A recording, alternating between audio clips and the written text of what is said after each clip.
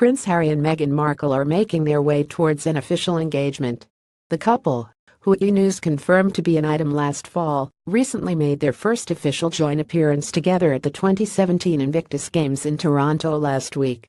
The couple also showed PDA at the event's closing ceremony Saturday, which were also attended by Markle's mother, Doria Ragland. But this isn't the first time Prince Harry has met his girlfriend's mom. This week wasn't the first time that Harry met Doria says a close source. They actually met late last year so they're very close now. Doria sees Harry as one of the family, and he sees her like family too. Harry has become close with all of Meghan's closest friends Marcus Anderson, the Mulroneys, these are people who have welcomed him with warm and open arms and has really felt the love and protection. Karwite Tangier image The Insider continues, when Meghan and Harry first began dating everyone did their best to help keep it a secret.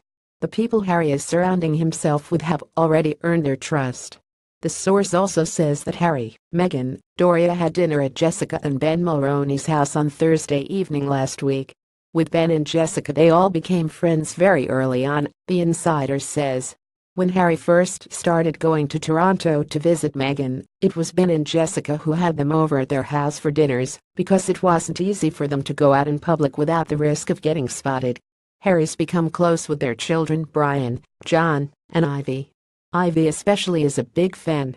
She, of course, has no idea that Hess a prince, though Hess just anti Meghan's special friend Harry, who sometimes comes over with fund presents Danny Lasanpa wire, and it sounds like Harry had a great time with everyone in Toronto this past week. Toronto was an amazing experience for Harry, a source close to Harry says. Everything to do with Invictus went according to plan and without hiccups. An uplifting and positive week spent doing what he loves most surrounded by good friends and the most important woman in his life.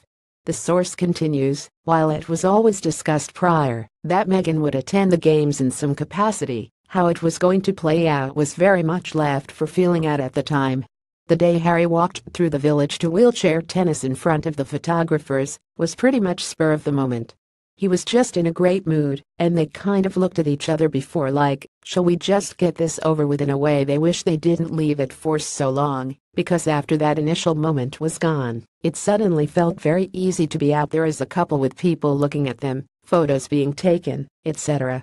And close pals are already planning their wedding outfits. Harry left Toronto yesterday on a high and can't wait to see Meghan next, another source reveals. She has a packed schedule between now and November with suits, but after that will be an exciting time for them and a new chapter in their relationship. The insider adds, while Meghan may not be wearing a ring or a formal engagement announced, it's fair to say they're as good as engaged now. They've spoken about their marriage plans openly with each other, and friends and family around them are pretty much thinking about wedding attire already.